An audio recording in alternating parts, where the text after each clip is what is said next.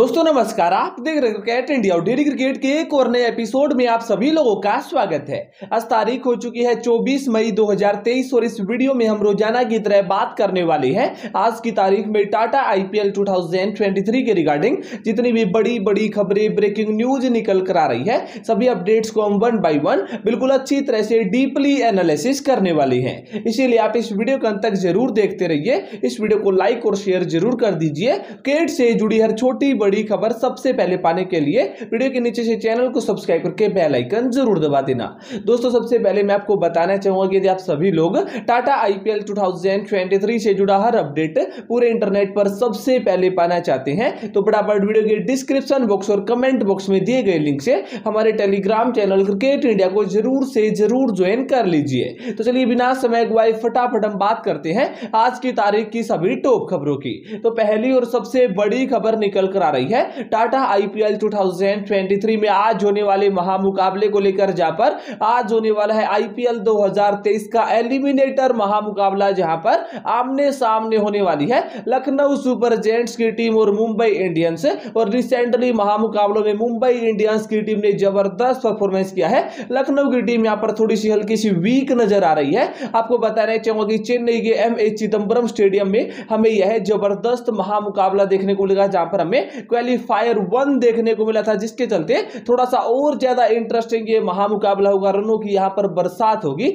लेकिन दोस्तों, इस महामुकाबले की शुरुआत से पहले इस मैच के रिगार्डिंग दो तीन बड़ी बड़ी खबरें ब्रेकिंग न्यूज़ निकल कर आ रही है। चलिए बात कर लेते हैं सभी अपडेट्स की। तो फ़र्स्ट अपडेट निकल कर आ रहा है मुंबई इंडियंस की टीम को लेकर। जी हाँ इस एलिमिनेटर महामुकाबले की शुरुआत से पहले मुंबई इंडियंस की टीम को लेकर बड़ी खबर ब्रेकिंग न्यूज़ खुशखबरी निकल कर आ रही है, जहाँ पर इस टीम के मिडल ऑर्डर के बहुत ही ज़बरदस्त युवा बल्लेबाज जी हाँ तिलक वर्मा की मैं बात कर रहा हूँ। अपनी इंजरी से बिल्कुल पूरी तरह से टोटली रिकवर कर चुके हैं। सौ परसेंट फ़िलहाल वो फिट है पिछले महामुकाबले में वो प्लेइंग इलेवन में सिलेक्शन के लिए अवेलेबल नहीं थे। हालाँकि सब्सटीट्यूट के तौर पर उनको स्क्वाड में शामिल ज़रूर किया जाता था।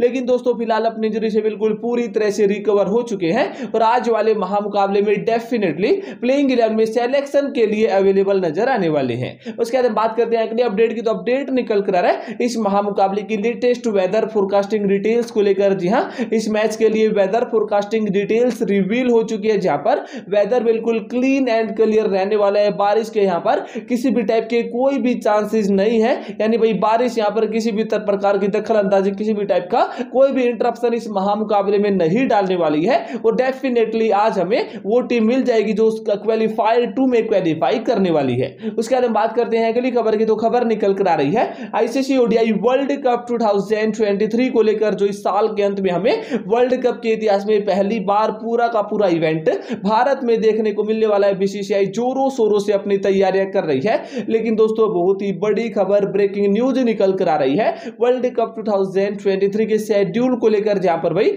आपको पता है कि भाई आपकी टॉप आठ टीमें यहाँ पर क्वालिफाई कर चुकी हैं सुपर टेन में और बाकी दो स्लोट्स के लिए क्वालिफायर महामुकाबले होने वाले हैं और फाइनली कल देर रात को उन क्वालिफायर महामुकाबलों का पूरा शेड्यूल आईसीसी ने ऑफिशियली आधिकारिक तौर पर रिवील कर दिया है। पूरे के पूरे शेड्यूल को हमने अपने टेलीग्राम चैनल पर शेयर किया है। आप हमारे टेलीग्राम चैनल पर विज़िट करके क्वालिफायर महामुकाबलों का पूरा शेड्यूल देख सकते हैं। वही हम बात करते हैं टूर्नामेंट के मेन शेड्यूल सुपर टेन के शेड्यूल के बारे में। तो इसके ऊपर अभी जो लेटेस्ट अपडेट उसके मुताबिक ऐसा बताया जा रहा है कि सत्ताईस मई को बीसीसीआई एक बहुत ही बड़ी मीटिंग करेगा और उसके बाद यहाँ पर हमें फ़र्स्ट वीक या फिर second week of June to 2023 में definitely ICC ODI world cup 2023 का पूरा का पूरा शेड्यूल देखने को मिल जाएगा। उसके बाद हम बात करते हैं अगली खबर की तो खबर निकल कर आ रही है। आईसीसी वर्ल्ड टेस्ट चैंपियनशिप के सेकंड एडिशन के फाइनल महामुकाबले को लेकर जो हमें सात जून से ग्यारह जून के बीच लंदन के कैनिंगटन ओवल के स्टेडियम में देखने को मिलने वाला है। मैच काफ़ी ज़्यादा इंटरेस्टिंग रोमांचक, ज़बरदस्त, शानदार होने वाला है। दोनों टीमों के स्क्वाड्स यहाँ पर ऑलरेडी अनाउंस हो चुके हैं, लेकिन दोस्तों लगातार यहाँ पर वेन्यू को लेकर शुरुआत में बड़ी कंट्रोवर्सी हुई थी।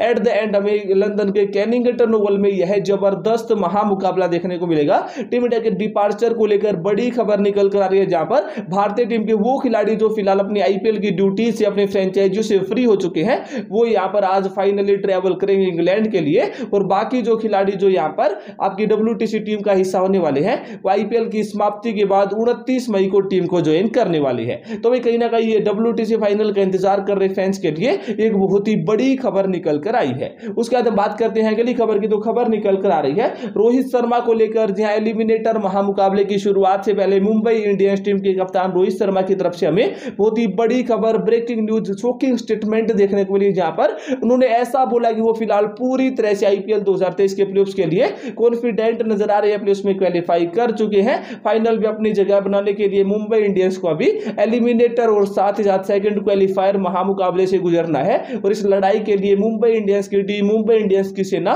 बिल्कुल अच्छी तरह से तैयार ऐसे में यहाँ पर रोहित शर्मा और उनकी टीम बिल्कुल काफ़ी ज़्यादा कॉन्फिडेंट नज़र आ रही है। उसके बाद हम बात करते हैं अगली खबर की तो खबर निकल कर आ रही है एशियन क्रिकेट का सबसे बड़ा टूर्नामेंट यानी एशिया कप 2023 को लेकर, जहाँ पर वेन्यूज को लेकर लगातार बड़ा सस्पेंस जारी रहा है। क्योंकि भाई आपको पता है, पाकिस्तान क्रिकेट बोर्ड के पास होस्टिंग राइट से भारत ने पाकिस्तान ट्रेवल करने से बिल्कुल क्लीन एंड क्लियरली इंकार कर दिया था, जिसके बाद कंट्रोवर्सीज यहाँ पर काफ़ी ज़्यादा बढ़ गई थी। ऐसे अपडेट्स निकल कर आए थे कि भाई हमें एशिया कप 2023 किसी न्यूट्रल वेन्यू पर आपके श्रीलंका में देखने को मिलेगा, लेकिन उसे पाकिस्तान क्रिकेट बोर्ड यहाँ पर बिल्कुल भी एग्री नहीं था। उन्होंने ऐसी धमकी दे दी थी कि यदि यहाँ पर एशिया कप को आपके यहाँ पर श्रीलंका भी शिफ्ट किया जाता है तो आपकी यहाँ पर पाकिस्तान की टीम एशिया कप 2023 से अपना नाम वापस ले लेगी, जिसके चलते वेन्यू फ़िलहाल फंसा हुआ है। लेकिन दोस्तों, आने वाले एक वीक या फिर दो वीक में एशियन क्रिकेट काउंसिल की एक बहुत ही बड़ी मीटिंग होने वाली है, जिस मीटिंग के बाद पूरा कार्यक्रम ऑफिशियली रिवील कर दिया जाएगा।